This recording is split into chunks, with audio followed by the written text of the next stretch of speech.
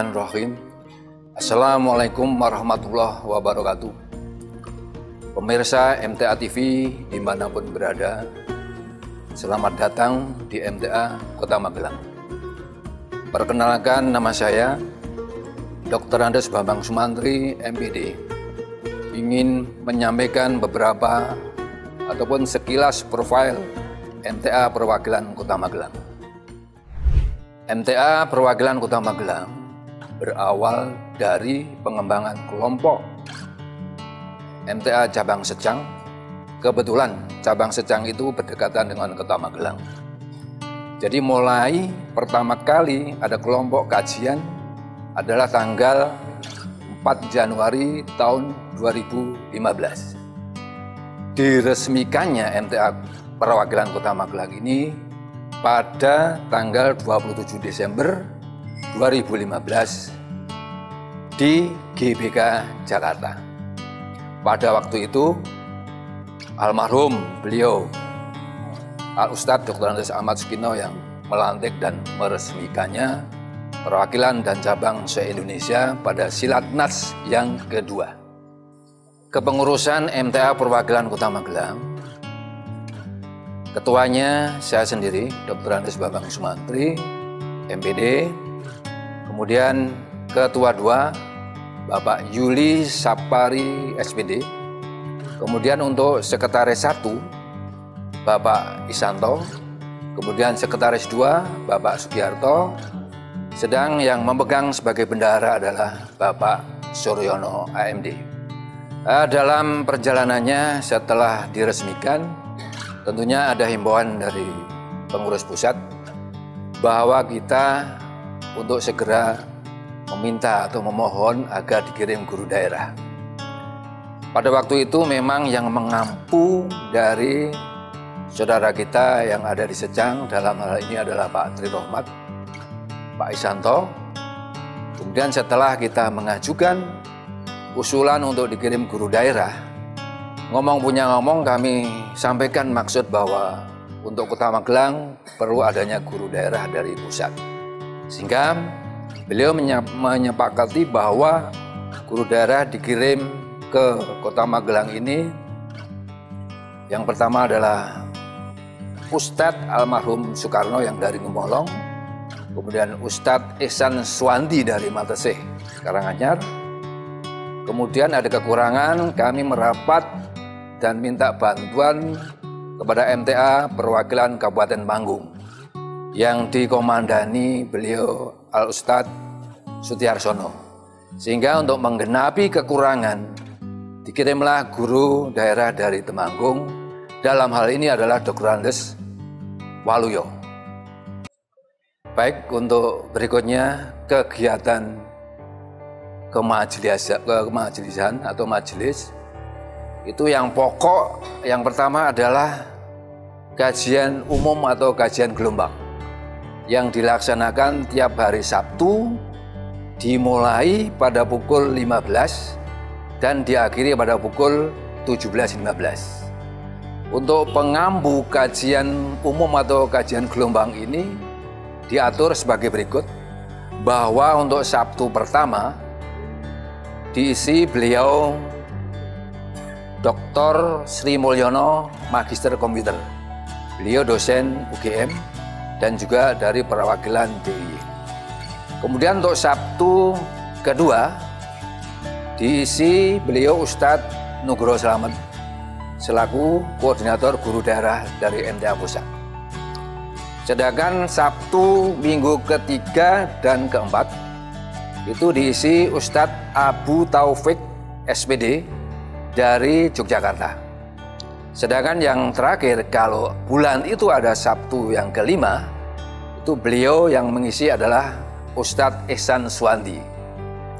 Uh, untuk kemajelisan yang lain selain kajian gelombang, ada kajian binaan. Saat ini kami memiliki binaan di Pakis yang kita namakan Binaan Magelang Timur sejak tahun 2018.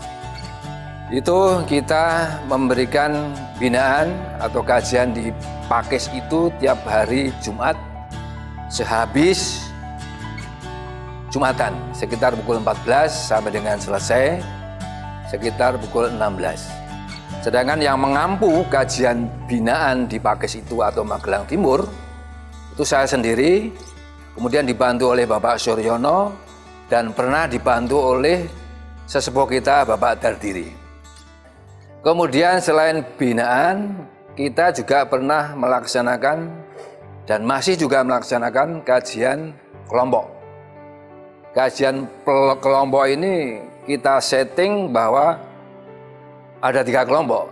Pertama Magelang Selatan, kemudian Magelang Tengah, kemudian kelompok Magelang Utara. Kemudian di samping kelompok, di majelis ini juga ada kegiatan tasin. Tasin ini yang aktif baru kelompok keputrian ibu-ibu. Dilaksanakan pada hari Sabtu juga sebelum kegiatan kajian gelombang atau kajian umum. Ada satu hal yang perlu diketahui bahwa untuk mendukung dakwah atau mendukung kajian di MTA Kota Magelang ini, kita juga mensewa, menyewa radio swasta yang ada di Kota Magelang, yaitu radio GBS. Ini tiap hari ditayangkan atau diperdengarkan atau distelkan dalam acara kajian MTA pada pukul 20 sampai dengan 22 malam. Dengan adanya radio ini, Alhamdulillah, masyarakat ini satu demi satu, bahkan ada lebih dari satu datang ke majelis untuk ikut kajian. Dampak positif dari radio adalah seperti itu.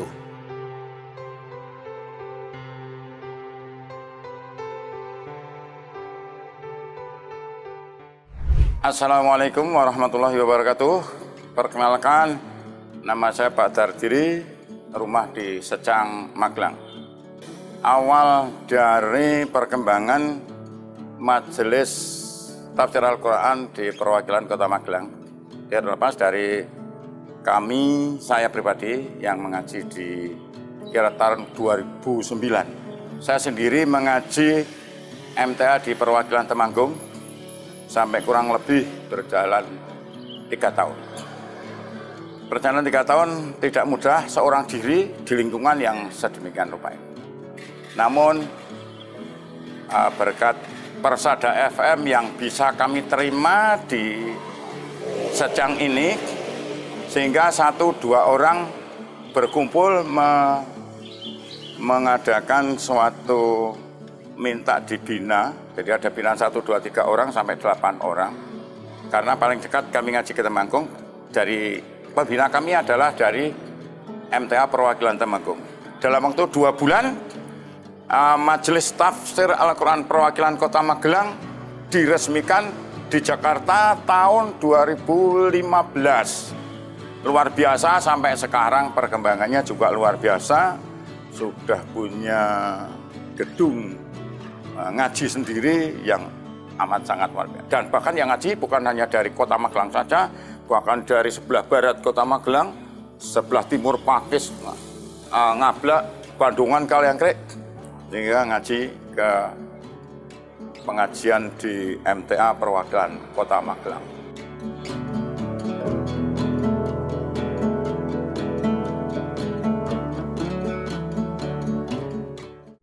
Saya kenal MTA waktu itu akhir tahun 2012, tahunya dari mendengar radio pengajian Al Ustadz Dr. Andes Ahmad Sukino. Kemudian saya mencari tempat kajian yang terdekat dari rumah saya. Kebetulan tempatnya di belakangnya rumahnya Pak Dardiri atau toko ban 57. Kemudian saya mencari ke sana, terus saya tanya sama Pak Dardiri kebetulan di sini apa ada pengajian MTA? Betul. Kemudian harus bagaimana saya kalau ma mau ngaji di sini? Bebas. Bebas tidak ada syarat rukonya. Yang penting datang di sini ikut ngaji. Tahun 2014 binaan secang, binaan kelompok secang Secang pun belum menjadi cabang, masih binaan. Tapi dari Secang eh, mendukung saya, ngajak saya untuk mendirikan kajian kelompok di Magelang Kota. Sekarang di Kota Magelang itu ada kajian kelompok binaan MTA yang beralamat di rumah Bapak Suryono, Komplek RSC, Kelurahan Keramat, Kecamatan Magelang Utara. Suka duka waktu pertama kali bahwa di MTA Kota Magelang ada banyak yang mengucapkan selamat sama saya. Selamat menjadi dakjal-dakjal baru bermunculan. Kemudian ada juga yang SMS. Kayaknya saya itu sudah kayak Ustadz ditanya ada yang pura-pura nanya sesuatu ya tentang hukum-hukum agama. Saya jawab, saya jawab sebisa yang saya sendiri. Tapi ya dari hasil saya ngaji, saya jawab, saya jawab, saya jawab. Untuk tempat kajian, kita mengalami perpindahan sampai dengan lima kali.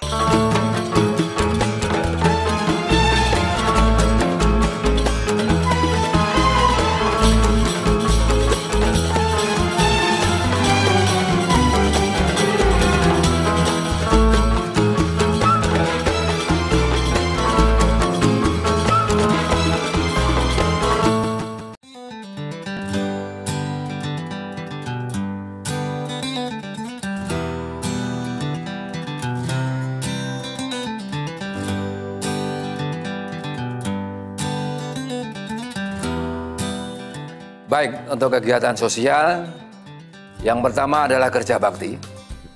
Kerja bakti itu kita lakukan dua topik, satunya internal dan satunya eksternal. Yang internal dalam hal ini adalah kita lakukan kerja bakti untuk ngurusi majelis kita sendiri.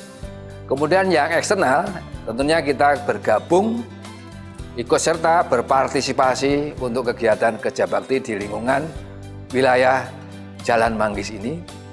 Kemudian berikutnya kegiatan sosial berikutnya adalah pembagian pengadaan paket kemerdekaan. Alhamdulillah tiap tahun kita ada peningkatan dan kita tidak mengkhususkan untuk saudara warga ngaji di MTA, tapi pada saudara siapa pun yang perlu kita bantu, kita bantu. Isinya adalah beras, minyak goreng, kemudian gula, kopi, teh, kemudian mie instan. Untuk kegiatan ibadah penyembelihan hewan korban, yaitu dilaksanakan pada setiap Idul Adha, Alhamdulillah kita selalu menyembelih sapi. Jadi daging korban tidak hanya dikhususkan untuk muslim saja, tapi juga kita berikan kepada saudara kita non-muslim. Jadi biar semuanya ikut merasakan. Bedah rumah juga kita lakukan, ikut membantu bedah rumah di rumah Mbah Pandi di Kecamatan Windusari. Pada tahun 2019 kita membantu memperbaiki ataupun bedah rumah. Kebetulan rumah itu juga untuk kajian binaan MTA. Kemudian kegiatan sosial yang lain, bedah rumah sudah, kemudian ada drop air bersih. Drop air bersih itu pernah kita lakukan, untuk angkutannya disupport oleh beliau dari PT Surya Mandiri, kemudian tenaganya kita lakukan oleh teman-teman dari SAR. Jadi untuk sementara, MTA Perwakilan Kota Magelang baru ada SAR, kemudian Satgas, dan Satgas Parkir. Untuk kegiatan Satgas, kita latihan bersama dan koordinasi dengan daerah lain yaitu Satgas di Kebumen. Jadi implementasi dari kegiatan SAR, ini kita pernah mengirimkan ikut serta juga untuk bencana alam yang paling dekat itu di daerah Gerabak ketika terjadi banjir bandang. Kemudian di daerah Banjarnegara, kemudian daerah Kabupaten Magelang dalam hal ini di daerah Windusari itu ketika ada tanah longsor. Nah, baik, untuk tempat kajian kita mengalami perpindahan sampai dengan lima kali. Jadi yang pertama tempat kajian itu bertempat di rumah Ibu Alfia tahun 2015. Kemudian tahun 2016 dan 2017 Maret itu kita berada di Masjid Ar-Rasyid di Jalan Manggis ini juga.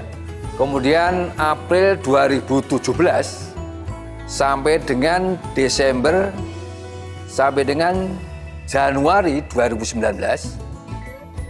kita berada di tempat Jalan Ayani nomor 121 pada bulan April 2019 sampai dengan Desember 2019 kita pindah tempat lagi nomor 222. Nah, kemudian baru tanggal 4 Januari 2020 sampai sekarang kita pindah ke tempat majelis milik sendiri yang diberalamatkan di Jalan Manggis nomor 17.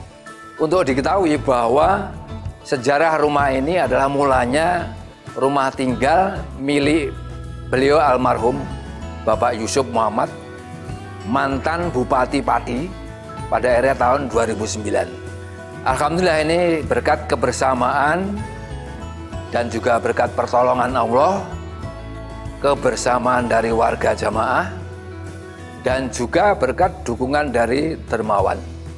Kemudian fasilitas di rumah ini, gedung majelis ini, ini yang semula itu empat buah kamar, kita rombak menjadi aula dengan ukuran 12 kali 10 Kemudian dilengkapi dengan tiga kamar mandi dalam, kemudian satu ruang tamu ruang ustadz, satu ruang tempat tidur istirahat ustadz, kemudian satu dapur, kemudian satu pavilion yang sekarang untuk usaha warungan dari pihak ibu-ibu kementerian, kemudian ruang cuci, kemudian juga ada musola ada di belakang, kemudian ditambah lagi halaman depan samping timur dan halaman depan sebelah utara untuk parkir kendaraan roda 2 dan roda 4.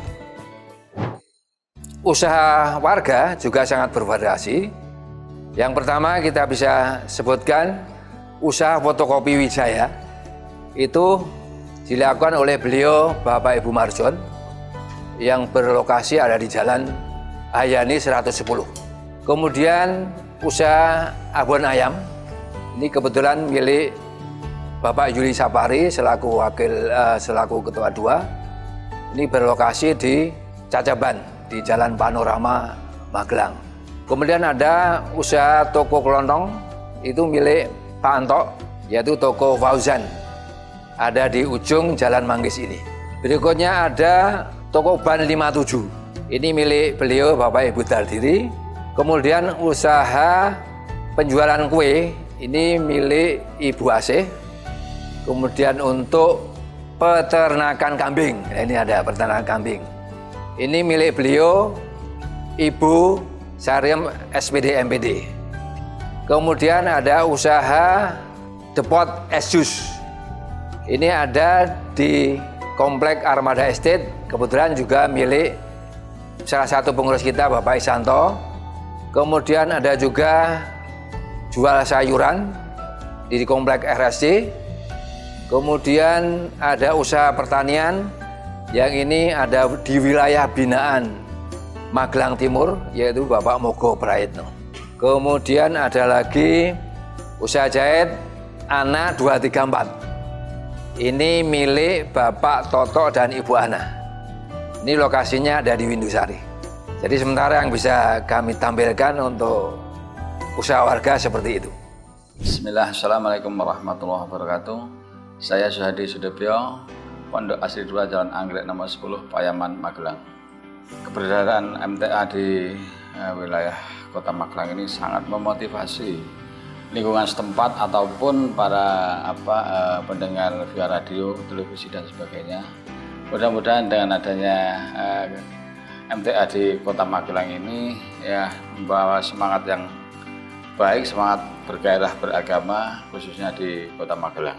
Alhamdulillah dengan beradanya uh, kantor MTA yang ada di sini, kami sekeluarga selaku tetangga terdekat dari MTA Kota Magelang melaksana, uh, merasa terbantu ataupun ada manfaat uh, dari keberadaan MTA Kota Magelang ini bahwasanya selama ini kita sudah menjalin hubungan yang sangat harmonis. Alhamdulillah kegiatan-kegiatan sosial dari warga MTA Kota Magelang ini salah satunya mungkin ikut apabila ada bersih-bersih jalan, ada kegiatan-kegiatan yang melibatkan orang banyak, uh, warga MTA Kota Magelang ini sangat membantu kami semua dalam hal ini berupa tenaga, saran ataupun pikiran yang di, bisa diberikan kepada kita semua.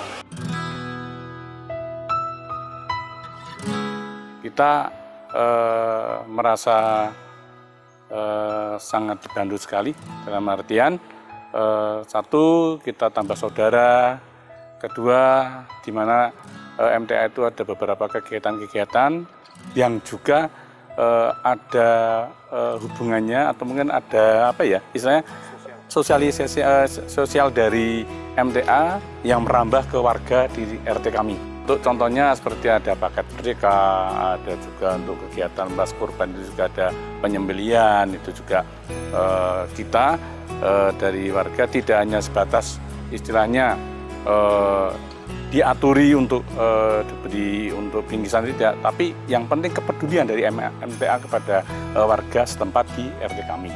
Dan itu pun juga yang kami uh, sama sama sangat uh, apa acungi jempol dalam artian di warga kami tidak hanya uh, muslim saja yang bertempat tinggal di situ, ada yang non muslim.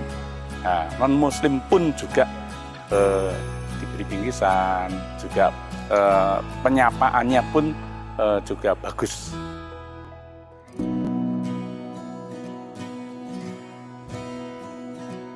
Terima kasih keberadaan untuk MTA di wilayah kami di RW 1, eh, terutama di wilayah RT 2, sama anggapi apresiasi yang baik sekali karena kegiatan-kegiatan yang dilakukan selama ini dari MTA sendiri banyak membantu warga untuk dari segi sosial dan untuk membantu mungkin bencana-bencana yang ada dan tidak menutup kemungkinan MTA juga eh, memberikan sarana dan prasarana untuk warga kami di RW 1 terutama di wilayah RT 02 dan untuk fasilitas-fasilitas yang lain untuk dari MTA juga eh, membantu untuk di sarana prasarana MTA bagi warga yang untuk membutuhkan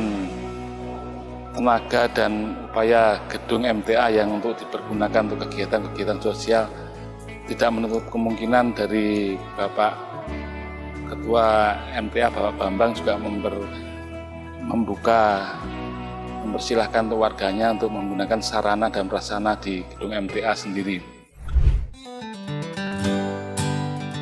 Untuk keberadaan MTA di wilayah Kecamatan Magelang Utara, kami sangat eh, apa eh, welcome ya kita bisa menerima keberadaan selaku organisasi kemasyarakatan di bidang keagamaan yang tentu saja eksistensinya akan memberikan manfaat kepada masyarakat khususnya umat Islam. E, kerjasama yang dapat dilakukan ya karena kita itu ada program wali kota sekarang programis itu ya program yang e, kampung religi. Kemudian ini tentu saja kita harus e, mengembangkan menumbuh kembangkan nilai-nilai agama. E, semua agama sebenarnya tapi dalam hal ini karena di bidang dakwah Islam ya tentu saja di bidang uh, agama Islam sehingga harapan kami masyarakat uh, bisa semakin memahami dan mengamalkan dan bisa apa menjadikan masyarakat itu sejahtera ya secara lahir secara batin. Jadi di samping kegiatan apa bersifat agamis juga ada kegiatan kemasyarakatan seperti apa eh, kegiatan untuk lingkungan, kerja bakti, eh, kemudian juga mungkin ada memberikan bantuan kepada orang yang kurang mampu.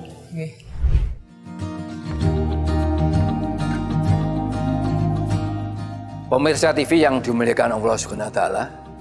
Demikian tadi sekelas profil MTA perwakilan Kota Magelang yang bisa kami sampaikan dengan harapan bisa memotivasi pemirsa dan juga memotivasi warga khususnya Kota Magelang. Kami punya prinsip bahwa bagaimanapun upayanya ngaji tetap harus tetap istiqomah. Udan panas, mangkat ngaji dengan rasa ikhlas. Assalamualaikum warahmatullahi wabarakatuh.